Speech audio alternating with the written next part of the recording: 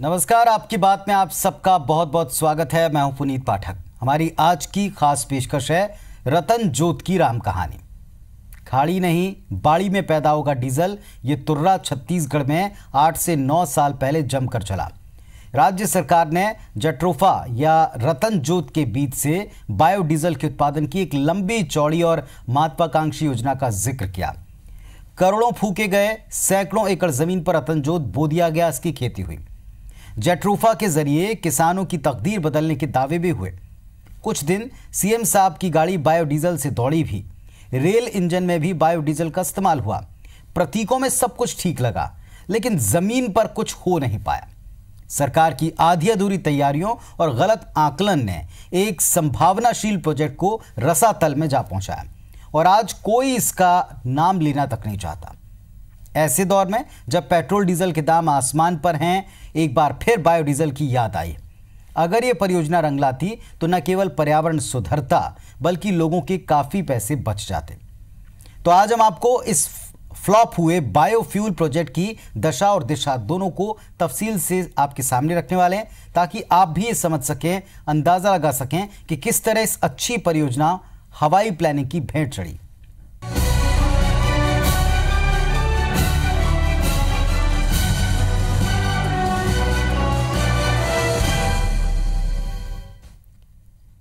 तो एक महत्वाकांक्षी परियोजना या यूँ कहें कि आने वाले वक्त के ईंधन के तौर के ऊपर तमाम तरह के दावों के बीच में जब किसी प्रोजेक्ट को आप शुरू करते हैं तो उसका रिसर्च और साथ में ज़मीन पर होने वाला होमवर्क दोनों अगर परफेक्ट हो, तभी योजना कामयाब हो सकती है।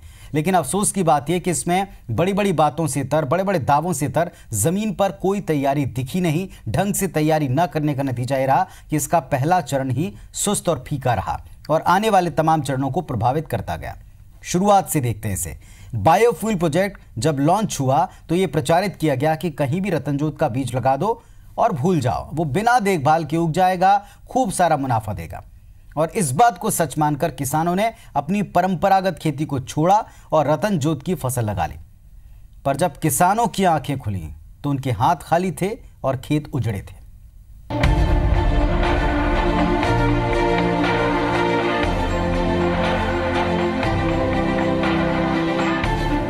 चार दिन की चांदनी, फिर अंधेरी रात। नौ दिन चले अढ़ाई कोस। वही ढाक के तीन पार। ये सारी कहावतें चंद्रपुर में रहने वाले रतनजोत के किसान चमार सिंह पटेल पर सही उतरी है। चमार सिंह प्रदेश के उन हज़ारों किसानों में से एक हैं, जिन्होंने रतनजोत की खेती के ज़रिए अपनी तकदीर बदलने का सपना देखा। इस किसान ने परिवार समेत लगन के साथ जी तोड़ मेहनत कर रतनजोत की नर्सरी तैयार की। इसके लिए इन्होंने पारंपरिक खेती से भी नाता तोड़ लिया। अपनी नर्सरी में तकरीबन एक करोड़ पौधे तैयार करने वाले इस किसान को पूरा भरोसा था कि इसके ज़रिए उसके अच्छे दिन आने वाले हैं, पर ऐसा कुछ न हो सका। जिस टाइप के जिट्रोफा के पेड़ से फल आई या बीज आई, पैदावार की नहीं करके प्रचार प्रसार हुई वही टाइप के में पैदावार नहीं आ पाई। तो पूरा किसान मन लायक फ़ायदा में जाए, हम फ़ायदा में जाए। मैं तो किसाने चका था। और बाहर के पैसा जैसे यहाँ के पैसा बाहर जाते वो ये में क्या कहते हैं, डीजल, पेट्रोल में, वो हर मैंने बचे रही का था चमार सिंह पटेल इकलौते किसान नहीं हैं। इनकी तरह प्रदेश के हज़ारों किसानों ने रतनजोत के पौधे लगाए, लेकिन फ़ायदा एक धेले का नहीं हुआ। सुदूर वनांचल से लेकर मैदानी जिलों के कितने ही किसानों ने रतन जोत के ज़रिए मुनाफा कमाने के लिए कड़ी मेहनत की। हालाँकि इनको कहा गया था कि बंजर में रतन जोत बोकर वो भूल जाएँ, पौधे बगैर देखरेख के भी पनप जाएँगे लेकिन ऐसा हुआ नहीं। कई पौधे तो जानकारी के अभाव में ही मर गए। दो साल बाद पौधों में बीज आया तो एक बार फिर आस बंधी शायद कुछ बेहतर हासिल हो। लेकिन तैयार बीज को लेकर जब बेचने पहुँचे तो फिर निराशा हाथ लगी।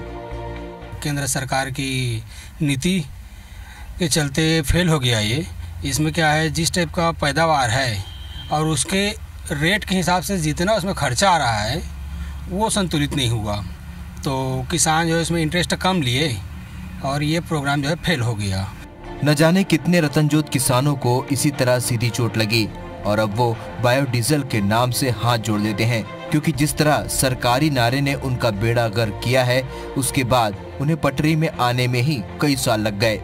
उत्साह से भरकर किसानों ने भरपूर मेहनत की। उन्हें उम्मीद थी कि रतन जोत की एक नई रोशनी उनकी ज़िंदगी में विकास का नया उजाला देगा। लेकिन ऐसा कुछ नहीं हो पाया, उनके सपने दरक गए। कैमरा पर्सन रिजवान के साथ शरदिंदु शेखर, आईबीसी 24 रायपुर। तो किसानों की आस तो टूटी ही, किसानों के हाथ तो इसमें तंग हुए लेकिन साथ ही साथ ये पूरा का पूरा प्रोजेक्ट प्रश्न चिन्ह बनकर रह गया ज्यो ज्यो ये काम आगे बढ़ा। क्योंकि अगर फ़सल ढंग की नहीं होगी, अगर बीज ढंग के नहीं मिलेंगे तो ज़ाहिर सी बात है कि आगे आप प्रोडक्शन का काम कैसे शुरू करेंगे? प्रदेश के तमाम हिस्सों में रतनजोत उगाने का काम ज़ोर शोर से किया तो गया। लेकिन महज कुछ वक्त बाद दूसरी सरकारी योजनाओं की तरह बायोडीजल तैयार करने की इस योजना में भी दम तोड़ दिया। 2008 के बाद प्लांटेशन का काम ठप पड़ गया और पूरी परियोजना फाइलों में कैद हो गई। साल 2005 में छत्तीसगढ़ बायोफ्यूल विकास प्राधिकरण बनाया गया। राज्य के सभी जिलों से पड़त और बंजर ज़मीन की जानकारियाँ जुटाई गई। वन विभाग, वन विकास निगम, कृषि विभाग और क्रेडा के सहारे प्लांटेशन का काम ज़ोर शोर से किया गया। नारा दिया गया डीजल नाब खाड़ी से, मिलेगा अब तो बाड़ी से। साल 2005 से 2008 तक पौधे बांटे जाने और लगाए जाने का काम तेज़ी से किया गया। वन अमले ने तीन साल में 23 करोड़ पौधे बांटने और लगाने का लक्ष्य रखा। इस दौरान 20 करोड़ 21 लाख से ज़्यादा पौधे लगाने और बांटने में कामयाबी हासिल की। उसके पहले हम लोग वैसे मेड़ों में और जो अपने प्लांटेशन रहते थे थोड़ा बड़ा लगाते थे। लेकिन जब बृहद स्तर पर जो चालू हुआ राज्य में, वो 2005 छः सात, तब 2005 छः से लेकर सात, आठ तक रहा। और उस पीरियड में करीब करीब 20 करोड़ 21 लाख पौधे लगाए गए रतन जोत के पौधे पर आने वाले खर्च की बात करें तो रखरखाव के साथ एक पौधे पर 10 से 15 रुपए खर्च होते हैं। अलग अलग जगहों पर मिट्टी और जलवायु के लिहाज से खर्च कम ज़्यादा होता है। इसी तरह औसतन तेरह रुपए पौधे के हिसाब से सिर्फ़ वन विभाग ने प्लांटेशन पर 260 करोड़ रुपए खर्च कर दिए। तत्कालीन 16 जिलों में किसानों के बीच जाकर उन्हें इसके लिए जागरूक किया गया। लेकिन साल 2008 के बाद ये सारी कवायद ठप हो गई। लगाए गए ज़्यादातर पौधे रखरखाव के अभाव में सूख गए। हालाँकि वन विभाग के अधिकारी आज भी अपनी पीठ थपथपाने से चूकते नहीं। कि देख रेख तो उस समय मतलब काफ़ी अच्छे प्लांटेशन हैं, अभी भी हैं, लोग उसका बीज वगैरह कलेक्ट कर रहे हैं उसे। और लोकल स्तर पर उसको बेचते हैं वो। बंद तो नहीं हुई, लेकिन अभी भी हम लोग जो है मेड़ों पे लगा रहे हैं। जैसे सीपीटी वगैरह की मेड़ पे, जहाँ पर आवश्यकता हो, ये हैज़ के रूप में भी बहुत अच्छा ये पौधा है। वन अधिकारियों के दावे, प्रदेश के किसी भी इलाके में कहीं भी ज़मीन पर नहीं नज़र आते। आज कहीं रतनजूत की नर्सरी नहीं दिखती, न ही खेती करने वाले किसान दिखते हैं। ये अलग बात है कि बस्तर से लेकर अंबिकापुर तक रतनजूत का पौधा भी कागजों में और फाइलों में बदस्तूर लहलहा रहा है। शरदिंदु शेखर आईबीसी 24 रायपुर। ज़ाहिर सी बात है कि अभी भी अधिकारी जो हैं इस पूरे मामले को जितनी गंभीरता के साथ में लेना चाहिए, उतना लेते दिखाई नहीं पड़ रहे और अभी भी प्रोग्रेस के बारे में उनका दावा यही है कि काम जारी है और आने वाले वक्त में बेहतर स्थिति बनेगी। लेकिन जमीनी हकीकत सबके सामने है, पड़ताल की रिपोर्ट आपके सामने छत्तीसगढ़ शासन ने आनंद फानन में बायोफ्यूल विकास प्राधिकरण बना दिया। परियोजना को ज़मीन पर उतारने की ज़िम्मेदारी वन विभाग और कृषि विभाग को दी गई। लेकिन गलत नीतियों और विभाग के बीच में कोई तालमेल ना होना यह प्रोजेक्ट की नाकामी की बड़ी वजह बना। आज इस योजना का कोई ज़िक्र करना तक नहीं चाहता।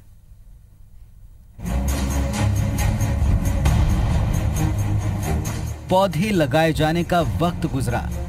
ढेरों उम्मीदों के साथ किसान और अफसरान रतन जोत की पैदावार को लेकर आश्वस्त रहे। अगर सब कुछ ठीक रहा तो पौधारोपण के दो साल बाद रतन जोत के पौधों में फल दिखने लगते हैं। और पाँच साल गुजरते गुजरते ये पूरी तरह तैयार हो जाते हैं। लेकिन यहाँ तो साल दर साल गुजरते रहे, पर फल और फूल का नामो निशान न था। उल्टे रखरखाव के बिना रतनजोत के पौधे सूखते गए, मरते गए। किसान पहली बार इसकी खेती कर रहे थे, इसलिए उन्हें समझ ही नहीं आया कि कैसे इन पौधों की देखभाल की जाए। ऊपर से सरकारी विभागों का ये दावा भी भारी पड़ा कि रतनजोत तो बंजर में भी उग जाता है। उसे किसी तरह की देखभाल की ज़रूरत नहीं। नतीजा, किसानों को तगड़ा घाटा हुआ। अब अधिकारी भी मानते हैं कि शुरुआती दौर में उनसे चूक हो गई। इस बीच में हमने देखा कि पौधे का साथ हमारा जो शुरू का जो अनुभव रहा कि पौधे बिना पानी या बिना खाद दवाई का उगता है, ये सही नहीं रहा। कुछ ना कुछ जहाँ पे एग्रो क्लाइमेट में, जहाँ पे उनको पानी, बरसात का पानी मिलते रहा या किसान जो इसको बीच बीच में लाइफ सेविंग मतलब ज़िंदगी बचाने लायक पानी का सिंचाई करते रहे, वहाँ पौधे जीवित रहे। एक तरफ़ सूखते रतनजोत ने किसानों की उम्मीदें तोड़ी तो दूसरी ओर गाँव के बच्चे लगातार रतनजोत खाकर बीमार पड़ते गए। हर दूसरे गाँव से यही खबर आने लगी। बीते बरसों में हज़ारों बच्चे रतनजोत खाकर बीमार पड़े। इन दोनों वजहों से ग्रामीण रतनजोत को बला की तरह देखने लगे और उससे दूर होते गए। इधर परियोजना में लगे सरकारी अधिकारी भी ढीले पड़ते गए, जिसकी वजह से बायोडीजल से क्रांति का दावा आधे रास्ते ही दम तोड़ गया। अब इसके लिए वन विभाग और सीबीडीए दोनों एक दूसरे को कसूरवार ठहरा रहे हैं। विभाग अपने आपसी तालमेल इनमें कभी था ही नहीं। इन लोग, विभाग अपने दिशा से अपने निर्देश से करते रहे। और विभाग ने हमारे रतनजोत पौधे का तरफ़ ध्यान नहीं रखा। नहीं कोऑर्डिनेशन के हिसाब से फॉरेस्ट ने तो कहीं कोई कमी नहीं की है। हम लोग हर तरह से उनके साथ में रहे हैं जैसा उन्होंने बताया उसके हिसाब से काम हुआ है। वैसे कसूर चाहे जिसका हो पर इससे वैकल्पिक ऊर्जा स्रोत के विकास का एक बड़ा सपना टूट गया। अगर ये मुहिम कामयाब रहती तो प्रदेश के लिए रतनजोत वाकई आर्थिक इंजन बन सकता था। शरदिंदु शेखर आईबीसी 24 रायपुर। वैसे भविष्य को लेकर आशा जगाने वाले इस बड़े और अहम प्रोजेक्ट की असफलता के पीछे न केवल इसकी अधूरी प्लानिंग, अधूरी तैयारी, बल्कि आने वाले वक्त के मार्केट तैयार करने की शुरुआती जो प्रारंभिक जो चीज़ होती है कि क्या कानून इस बात की इजाज़त देता है, इसका बाज़ार देता है, क्या इसके लिए कंपनियों को प्रोत्साहित करता है, इस बात का भी ख्याल नहीं रखा गया। जो पहला चुनौती थी किसानों के सामने कि वो उपज कैसे लें। उतनी ही बड़ी चुनौती थी कि प्रोडक्शन हो जाने के बाद आप इसे कैसे बाज़ार तक पहुंचाएँगे। तो हम रतनजोत से बायोडीजल बनाने की पूरी जो योजना थी, इसकी खामियों का ज़िक्र कर रहे हैं, क्योंकि एक दशक से ऊपर के बाद भी अभी तक इस योजना का जो स्वरूप दिखना चाहिए था, वैसा दिख नहीं रहा। बायोडीजल की खेती में सरकार ने चूक नहीं की, बल्कि उसके विपणन के नियमों को लेकर वो काफ़ी कंफ्यूज भी रही। जब उसने डीजल उत्पादन शुरू कर दिया, तब उसे ये जानकारी मिली कि कानूनन राज्य सरकार की कोई भी इकाई बायोडीजल बेच नहीं सकती। हालाँकि अब जाकर के इस कानून में संशोधन हुआ है और अब तय मानकों का पालन करते हुए कोई भी बायोडीजल बेच सकता है। रतन जोत की खेती को लेकर आधी अधूरी तैयारियों का पहला झटका किसानों को लगा तो दूसरा झटका इस अभियान से जुड़े अधिकारियों और बीपीसीएल को लगा। वो भी तब, जबकि हासिल बीज से बायोडीजल तैयार कर वो उसे बाज़ार में बेचने की तैयारी करने लगे। दरअसल तब केंद्रीय कानून ये कहता था कि ओ कंपनियों को ही सीधे तौर पर पेट्रोलियम पदार्थों की बिक्री करने का अधिकार है। ऐसे में बीपीसीएल के सामने सबसे बड़ी समस्या तैयार बायोडीजल को बेचने की रही। छत्तीसगढ़ बायोफ्यूल विकास प्राधिकरण द्वारा बायोडीजल बना के मुख्यमंत्री जी का गाड़ी में चलाया जाता था। तीन चार साल चलाया भी गया लेकिन हमारे ही ऊपर नोटिस सर्व हो गया गवर्नमेंट ऑफ़ इंडिया से कि आपने कैसे इसका विपणन कर रहा है। मोदी सरकार के आने के बाद बायोफ्यूल को लेकर सरकारी नियम में बदलाव हुआ। पहले 2015 में इसे लेकर एक अध्यादेश आया फिर कानून में संशोधन कर नियमों को शिथिल किया गया। इस साल 29 जून को राजपत्र में नया आदेश प्रकाशित भी हो चुका है। जारी नए आदेश के तहत मोटर स्प्रिट और हाई स्पीड डीजल 2005 6A1 के माध्यम से जैव डीजल B12 को सीधे तौर पर बेचने की छूट दी गई। इसके लिए मानक ब्यूरो और वाहन निर्माताओं के तय मानकों का ख्याल रखना होगा। बीपीसीएल के अधिकारी इससे बेहद खुश हैं। उच्च फलनशील वैरायटी का पौधे नहीं थे। इस विगत दस सालों में इस पर काफ़ी, कई रिसर्च हुआ और अभी डीबीटी ने 144 variety 144 different varieties suitable for every agroclimatic zone release किए, जिसके अंदर 35 से 36 परसेंट ऑयल का भी गारंटी दे रहा है। तो आगे अगर कोई किसान इस काम में जुड़ते हैं तो उनको हम अच्छे वेराइटी का पौधा उपलब्ध कराने के लिए सक्षम है। इस तरह देखें तो सरकार ने रतनजोत को लेकर एक बड़ी परियोजना तो बना डाली। पर ज़मीनी तैयारियों को लेकर उनका काम ज़ीरो रहा, जिसकी वजह से पहले इसकी खेती में नाकामी मिली और फिर कानून की जानकारी न होने की वजह से विपणन में भी अड़चन आई। बायोफ्यूल वैकल्पिक ऊर्जा का एक बड़ा स्रोत हो सकता है। इसके ज़रिए आर्थिक समृद्धि भी आ सकती है। बशर्ते सब कुछ सुनियोजित हो। क्या अब सरकार अपनी पुरानी गलतियों से सबक लेते हुए नए सिरे के साथ परियोजना को गति देने की कोशिश करेगी? ये एक बड़ा सवाल है। शरदेंदु शेखर आईबीसी 24 रायपुर। तो कुल मिलाकर अब जब लॉ बना, जब नियमों में परिवर्तन हुआ, तब जाकर ये रास्ता साफ़ हुआ कि आप न केवल इसका उत्पादन कर सकते हैं, बल्कि इस उत्पादन का बाज़ार भी तैयार कर सकते हैं। अगर ऐसा होता या पहले से तैयारी होती तो इस दिशा में भी तेज़ी से काम हो सकता था। रतनजोत बीज से डीजल तैयार करने के लिए राजधानी में एक यूनिट लगाई गई। प्रदेश के अलग अलग हिस्सों में मौजूद रतनजोत के पौधों से हासिल बीज यहाँ लाकर बायोफ्यूल के साथ जैविक खाद तैयार की जाती। भले ही रतनजोत की खेती में कामयाबी न मिली हो, लेकिन आधे अधूरे संसाधनों के साथ ये डीजल उत्पादन इकाई आज भी संचालित है।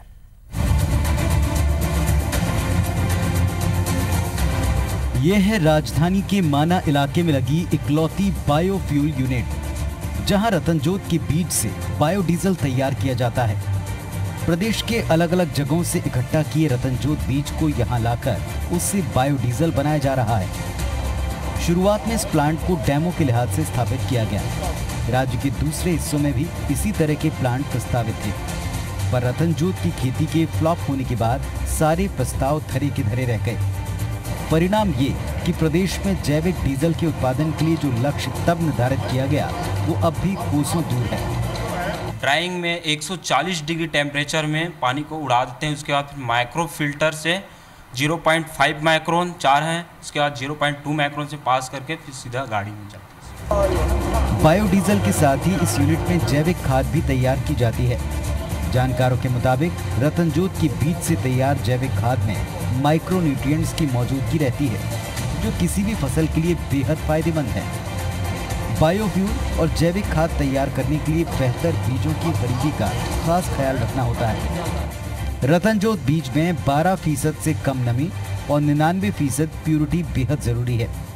इसके लिए यूनिट के लैब में बीज की गुणवत्ता जाँच की जाती है। हालाँकि ये लैब भी आज के बीआईएस मानकों पर खरी नहीं उतरती। लेबोरेटरी जो है, आज के जो बीआईएस का नए मानक आया है, वर्ष 2016-17 का जो नए बीआईएस स्टैंडर्ड आया है, उसमें अब बी हंड्रेड का स्टैंडर्ड अनुसार नहीं है, ये बी टेन से बी ट्वेंटी तक कर सकते हैं। तो शासन से हमने अनुरोध किया है कि हमको जो है बी आई एस टू का स्टैंडर्ड का नया उपकरण हमको खरीदने का परमिशन दिया जाए। रतनजोत को लेकर जो हल्ला मचाया गया, जो दावे किए गए, उसका अगर प्रदेश में कोई नामलेवा बचा है तो वो यही एक प्लांट है, जो ये बताता है कि कभी इस राज्य में बायोफ्यूल को लेकर बड़े मंसूबे बांधे गए। लेकिन आज सरकार के नुमाइंदे इसका ज़िक्र करने तक से कतराते हैं। शरदेंदु शेखर आईबीसी 24 रायपुर।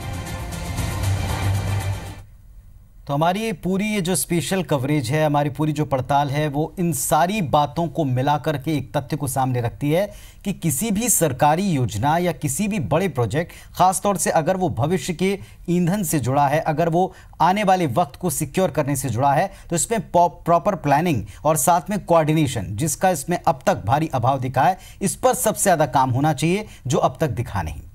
उम्मीद करते हैं कि आने वाले वक्त में ये प्रोजेक्ट फाइलों में दबकर या खुद इतिहास बनकर ना रह जाए, क्योंकि ये अभी भी आने वाले भविष्य की उम्मीद एक आस, एक किरण जगाता है। फ़िलहाल इतना ही। नमस्कार।